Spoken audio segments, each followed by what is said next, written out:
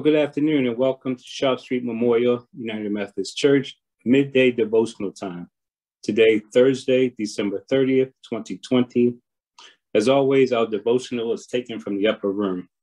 The title today is Opening, Overcoming Sadness. Our suggested reading is Psalm 31, verses 1 through 12. Our scripture for this devotional is Psalm 30, verse 11. You turn my wailing into dancing. You remove my sackcloth and clothe me with your joy. This is the word of God again, Psalms 30, verse 11.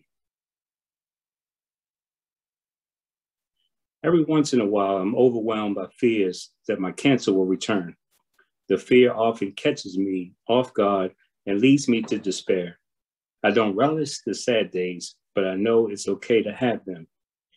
On hard days, however, I know that God still loves me and I endure the melancholy and tears, and I know the pain will eventually pass. Recently, on the evening of a sad day, a group of my son's friends came for dinner. They come every week and fill my house with laughter while they eat my medical cooking.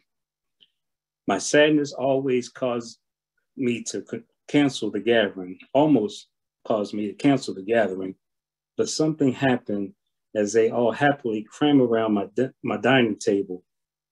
My sadness lifted and I was and was replaced with joy. Those boys will likely never know it, but God uses their happiness to bring me peace. Much in life can bring deep, deep sadness, but God is good and a giver of good things. Life itself is a gift. My sons are a gift. Their friends are a gift. My time on earth is a gift every sad day, every sad, every sec, every sad second, and every joy-filled moment. Our prayer, dear God, thank you that you all that you're always with us, even in our deep sadness.